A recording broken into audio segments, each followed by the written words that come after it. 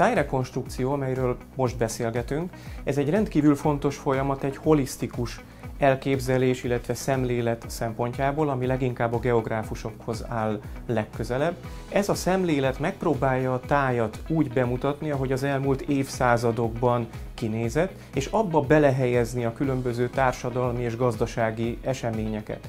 Tehát nekünk, itt a földrajzosoknak, történészeknek, régészeknek és másoknak nagyon fontos az, hogy például a Mohácsi csatával kapcsolatban meg tudjuk azt mondani, hogy hogy nézhetett ki az a táj, amelyben lezajlott a csata, de persze más vizsgálataink is voltak itt az elmúlt években, például Szigetváron Turbék nevű egykori városnak a környezetét is modelleztük.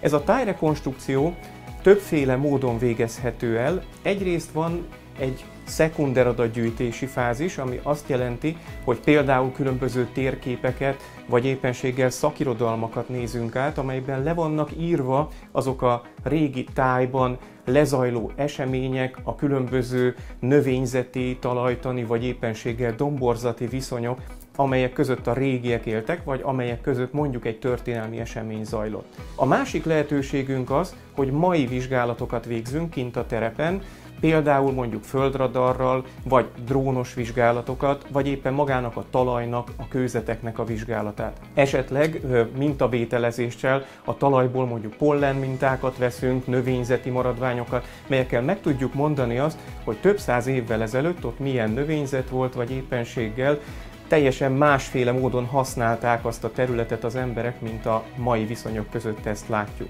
Meg kell értenünk tehát a táj működését idézőjelben, ahogy a régi emberek használták több száz évvel ezelőtt, ami most már teljesen más, mint ahogy, amit mi most látunk a, a terepen az esetek többségében.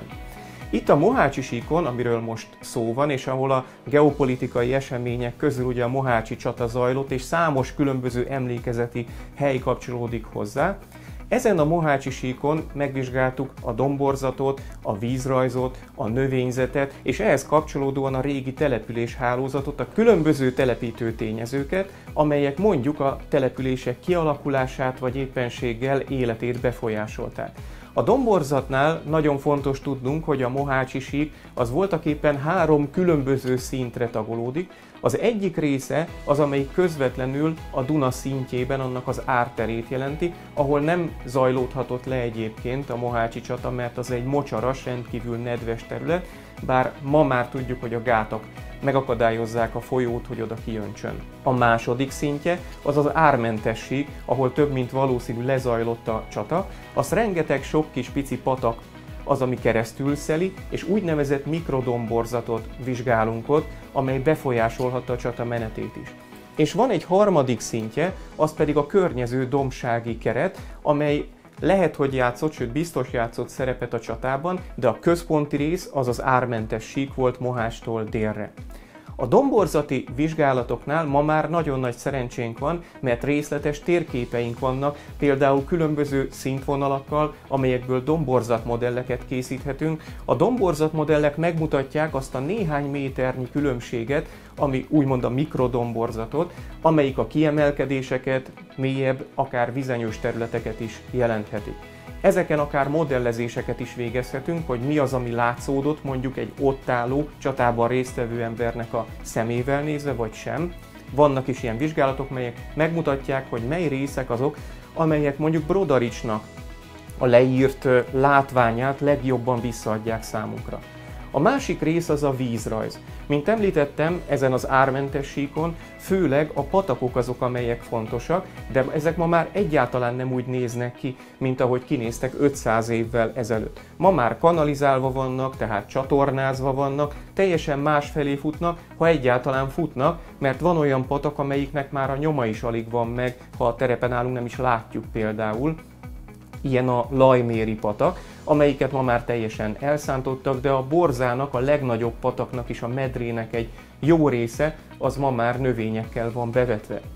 Ezeket a patakokat, az egykori nyomvonalat például műholdképek segítségével tudjuk megtalálni a különböző térképeken, illetve felvételeken. Föl tudjuk térképezni a belvizes foltokat, melyek mondjuk a települések számára lehettek olyan területek, ahol nem áttelepültek az emberek, hiszen senki nem szeret vizes helyen lakni. A különböző domborzati és vízrajzi foltok mellett még megvizsgáltuk a felszínborítást, esetlegesen a növényzetváltozást, de nem csak azt kizárólag. Ez azt jelenti, hogy a mai számítógépes módszerek lehetővé teszik azt, hogy mondjuk az elmúlt néhány száz évben készített térképekről vektorizáljuk, digitalizáljuk a felszínborítási formákat, erdőket, réteket, szántóföldeket, stb. És megnézzük, hogy a domborzat függvényében, a vízrajz függvényében ezek hogyan változtak, és tudjuk modellezni, hogy ha ismerünk két időpontot, akkor az a múltban, egy harmadik időpontban extrapolálva, az hogy nézhetett ki. Feltételezve és tudva azt, a gazdasági és történelmi események függvényében, hogy nagyjából a törökkor végétől a társadalmi-gazdasági események egy viszonylag egyenletes fejlődést mutatnak a területen, tehát nem voltak benne nagy törések.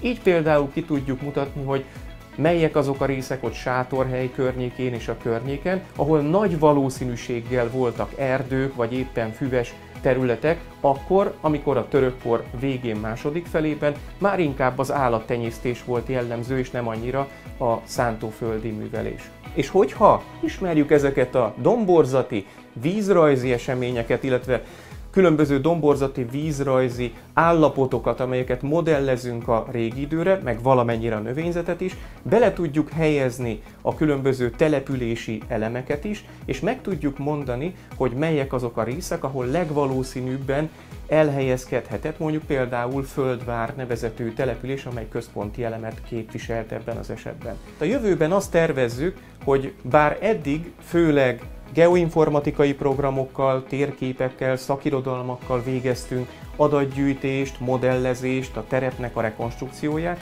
A jövőben egyre több mintavételezést teszünk majd a terepen, például az előbb említett talajmintákat, Ebből lehet például különböző izotópos vizsgálatokkal kormeghatározást végezni, netalántának is homokszemcséknek a vizsgálatával is az eltemetődött rétegek korát meghatározni, esetleg földradarral megtalálni olyan tömegsírokat, olyan épületmaradványokat, amelyek akár a csatához is kapcsolódhattak.